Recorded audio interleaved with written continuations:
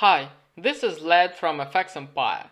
Silver managed to get above $20, gained upside momentum, and tested the next resistance level at 21.15.